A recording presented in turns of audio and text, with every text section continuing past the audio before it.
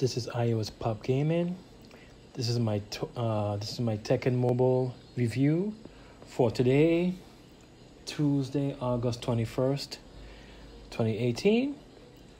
Uh, just let let everyone know. They have one. They have uh, they brought back rodeo for one live event.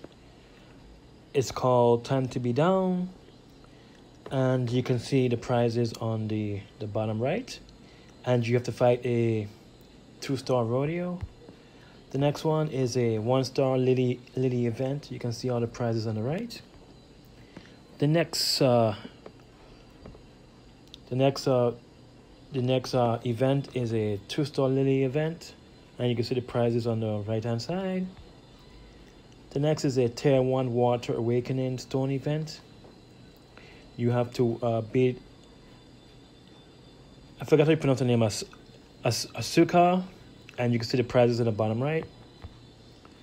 The next one is a Tier 2 Water Awakening Stone event. You have to fight a 2 star Christie, and you can see the prize, the prize on the bottom right.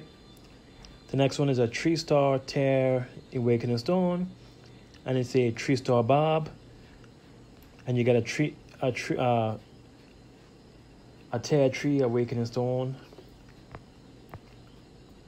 and the last one, the last one is a daily daily battle pack, and you have to fight a Tekken Force Fighter.